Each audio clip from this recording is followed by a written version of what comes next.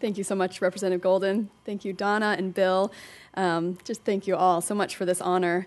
I so appreciate and admire all that you do, uh, representatives and senators here um, uh, in this in this esteemed place, uh, the legislative aides who are here, thank you so much.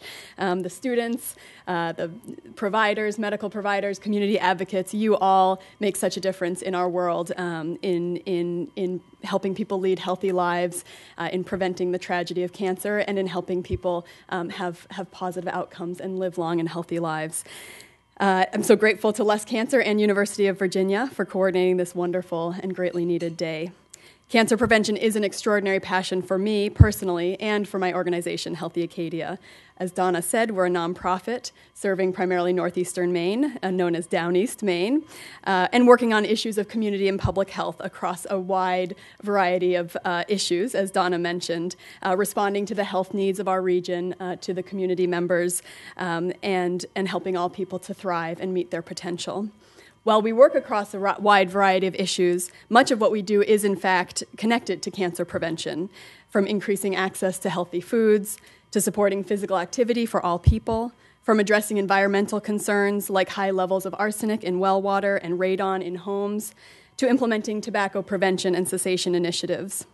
We also coordinate cancer patient navigation services, as Donna mentioned, to support individuals along the cancer recovery journey and to improve outcomes. This work touches me and many of my team deeply and personally. I have lost loved ones far too young to the tragedy of cancer, as I know many of us have. And like less cancer, and like all of us in the room today, we know that these cancers can indeed, many of them can indeed be, be prevented or cured if people have the right access to healthy opportunities and high quality health care. My extraordinary dedicated staff, volunteers, and partners are responsible for this award.